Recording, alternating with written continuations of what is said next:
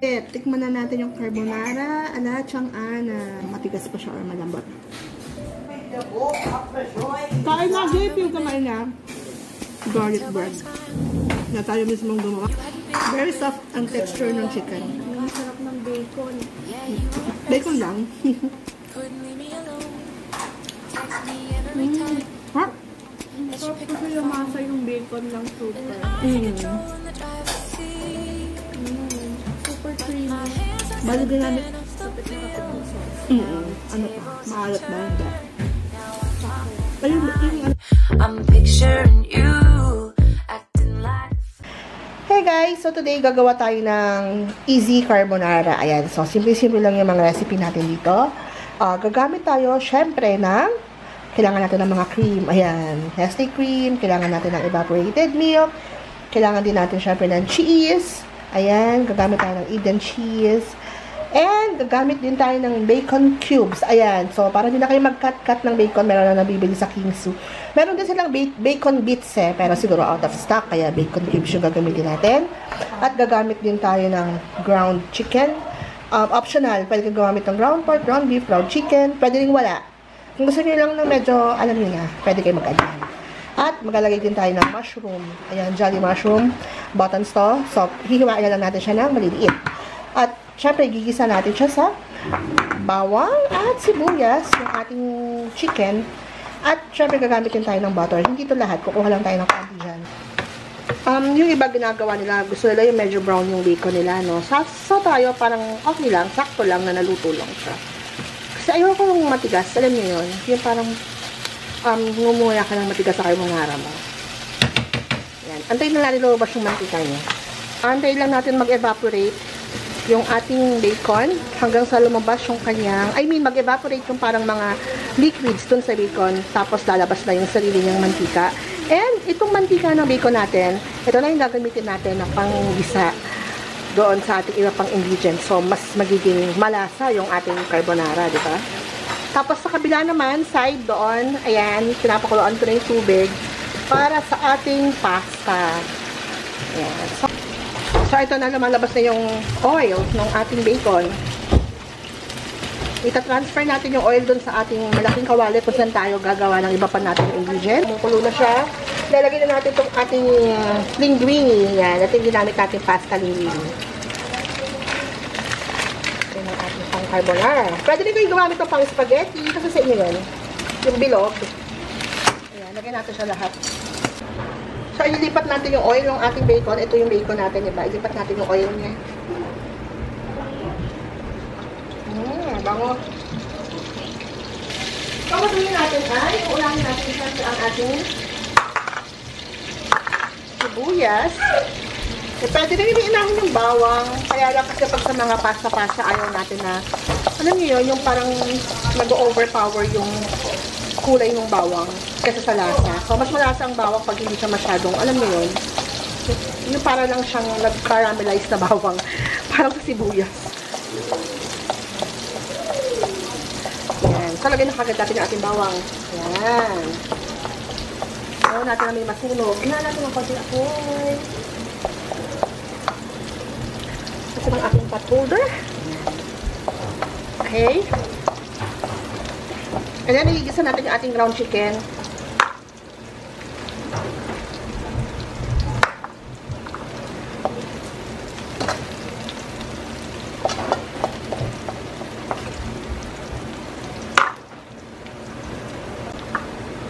So, okay na to. Pwede na natin ilagay yung ating ground chicken. Sobrang bilis lang itong lutuin, mga moms, no? Sobrang bilis lang talaga. Siguro itong, hindi ko na na-measure itong ground chicken ko kasi ano eh, um, nakalagay ito sa isang malaking plastic pang 1 kilo. Bumawas lang ako siguro to, mga lagpas 1 quart.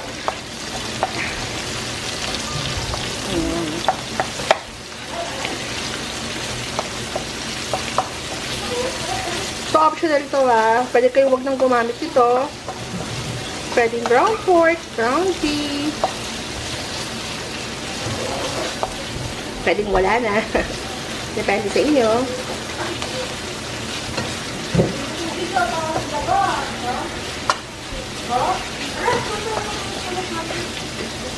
Ayan. Basta igisa lang natin siya. Pag na pantay na yung luto ng chicken, pwede na natin iligay yung ating mushroom. So, ito na yung ating pasta, no? Ayan. Papatay na natin yung apoy. Tapos yung matitirang init, yun na yung magluluto sa kanya ng tuloy-tuloy. Bali, bigyan ko kayo ng tip, no? Kasi yung iba naglalagay ng mantika. Pero sabi ng anak ko, na flex ko lang, nag-aral kasi siya ng culinary. Ngayon, ang turo sa kanila, hindi naglalagay ng oil sa pasta. Kasi pag naglagay ka ng oil, ay tama, mas hindi na-absorb ng pasta yung sauce. Alam niyo yun, parang hindi ko makapit. So, mas magandang wala siyang oil. Para pag lagyan mo siya ng sauce, kapit na kapit siya. And salt lang ang nilalagay. So, papatay na natin yung apoy niya. Yan. And then, hahayaan lang natin siya dito ng mga siguro mga 2 minutes. Takitan ko. And then, papatagalin yung takip. Yan. Medyo mas matigas lang na konti yung lingbini kasi dun sa ordinary pasta. So, ano natin siya. Nagpalit po ako ng camera. Nalobat ko yung isang camera natin. So, kung mapapansin nyo, na-absorb ng na-absorb ng ano, ay ng tama yung ating oil. Yan. So, nag, ano siya, evaporate siya. Dahil di ba yung chicken, alam natin na minsan may mga tubig-tubig. So, ang gagawin natin dito ay magkalagay tayo ng butter. Ayan. So, yung, pasta po natin, luto na. Yung butter na pinakita ko sa inyo kanina, hindi yan lahat. Kukuha lang tayo ng half doon. So, ito yung pinakita kong butter kanina. Ayan. Siguro half nito kukunin natin. Siguro mga nasa 2 tablespoon yun ng butter. So, ayan po siya. Ayan.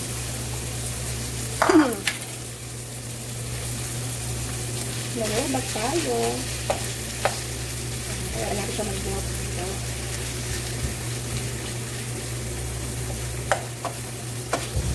Tsaka itong butter, nag-add din ng flavor sa ating sauce. Tansyahan lang tayo sa pagtitimpla ha. Kasi hindi naman tayo para-paras ng panlasa. So, yung iba, alam nyo na. Gusto matabang lang. Basta tansyahan lang. Ako kasi sa measure, sa, pag, sa pagtitimpla ko ng pang-asin, paminta, minsan tinatansya ko lang talaga eh. Kaya naglagay ako ng salt. At maglalagay din ako ng pamintang durog. Medyo dadamihan ko kasi mapaminta kami dito sa bahay. Mga anak ko. So, marami paminta. Hmm. Ayan. Tapos, alagay na rin natin yung mushroom natin na ni-slice natin kanina. Ayan. Kanina buo to, diba? May nabibiling mga nakaslice na.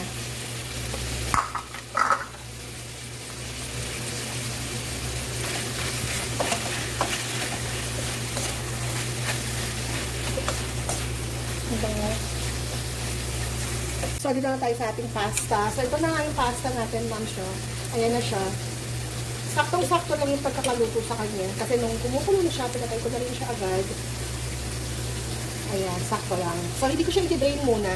Hayaan ko muna yung init ng tubig niya. Yung mas, mas maluto pa siya ng konti. At huwag natin tatakpan para hindi siya manamon. Ayan. So, dito tayo sa ating chicken. Ayan. Hindi ko sa inyo mahilig magluto. Kasi ako talaga napakahilig kong magluto eh. Siguro kung i-vlog ko everyday yung mga niluluto ko, ay naku, baka natambakan na ako ng i-edit. Ilalagay na natin yung ating evaporated milk. Ayan. So, ito yung ating evaporated milk. Alaska. Ayan. So, meron din nakalata.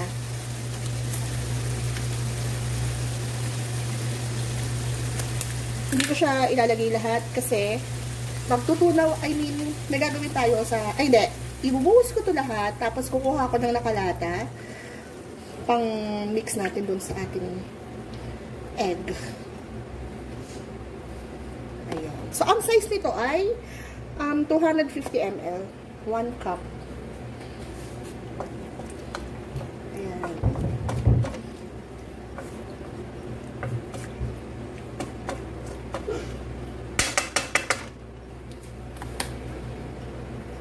Lagyan natin yung ating cheese. Alam niyo ba, yung cheese na nabili ng anak ko, quick melt kasi, or sobrang lambot. Hinahanap ko yung box kasi, eh, asan na ba yung box? Ayan o, so, eh, dapat isi-shred to eh. So, uh, epic, epic yung ating cheese. Dapat isi-shred yan, kaso, ano, ang hirap niyang i-shred kasi sobrang melted na siya. Kaya, ganyan lang yung ginawa natin. Sorry na guys ha. Pero, mas maganda, i-shred nyo yan or gamit kayo ng parmesan cheese. Ayan, kung medyo syala-syala yung inyong um, carbonara. Basta kung ano lang yung meron tayo. Gaya niyan. Yan yung cheese namin. Ayan o, nag-melt agad siya o. So, lagay ko na kaya lahat. Ah, mamaya ako na lalagay yung ibang cheese pag nailagay na natin yung ibang na natin. So, ang next na i-add natin dito ay nag-open ako ng isang lata ng ito, ng Alaska Evap. Ngayon, sa isang tasa, ilagay natin yung egg yolk. Ayan, dami tayo ng dalawang itlog. Hindi ko ito napakita kanina sa ano eh. Ayan, yung egg yolk lang yung kukunin natin.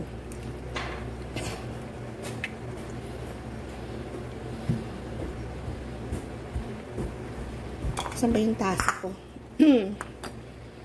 Ayan, egg yolk lang. Ito yung ating egg.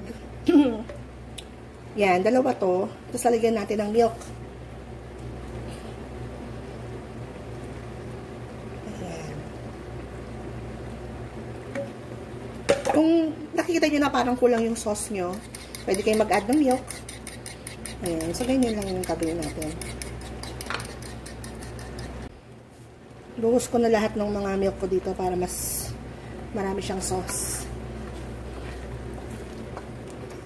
Bango. Mabango talaga yung ganitong brand ng milk. Not sponsored, pero baka naman. Ayan. Iba kasi ang Alaska eh. Talagang, alam niyo yun, yung ganitong color ah, yung classic nila. Yan. Iba talaga. Sobrang creamy itong milk na to. Ewan ko, basta.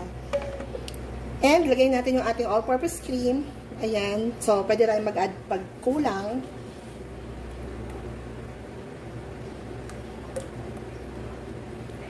Sabi ko, unahin ko yung merong egg, pero sa last pala yun. I mean, next dito. Kasi yung, yun yung magpapalapot sa sauce natin eh. Ayan. So, pasensya na kayo sa ating mga kaingayan sa paligid. Ha, kasi real time po tayo. At ayoko na pong mag-voice over.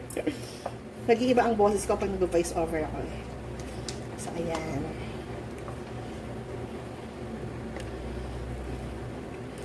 ilagay na natin yung bacon natin. Yung kanina, half lang. Para meron tayong pang tapos mamaya sa, ano natin, pang plating. Ayan. Para yung lasa dito, kumapit na rin. so, kita nyo, medyo malabnaw, di ba? Mamaya lalapot po ito.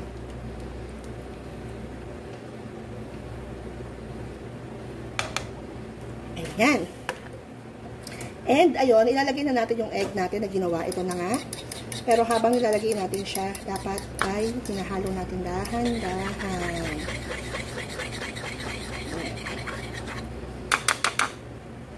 So, ilalagay na natin.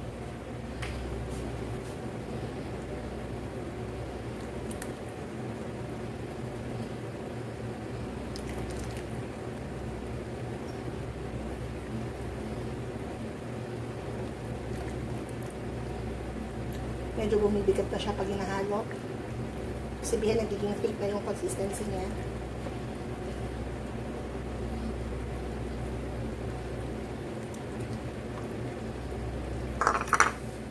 So, ayan po. Luto na po ang ating sauce. Gusto kong tikman. Ayan, na medyo lumapot na po siya. Mas lalapot po po yan mamaya. Yung iba gumagamit ng cornstarch, okay lang din naman yun. Pwede rin um, flour, APF. Tikman natin para makapag-adjust tayo kung kailangan pa natin siyang lagyan ng konting lasa pa. Wow. Kasi nasa ko yung cheese. Ang sarap. so, okay na po to. Ito na po ang ating sauce. Siguro naglagay ako pa ng konting paminta pala. Kasi baka magtanong si ate kung naglagay ako ng paminta. Kasi minsan, kasi yung paminta gusto nila lalasahan nila. Mmm. Ayan.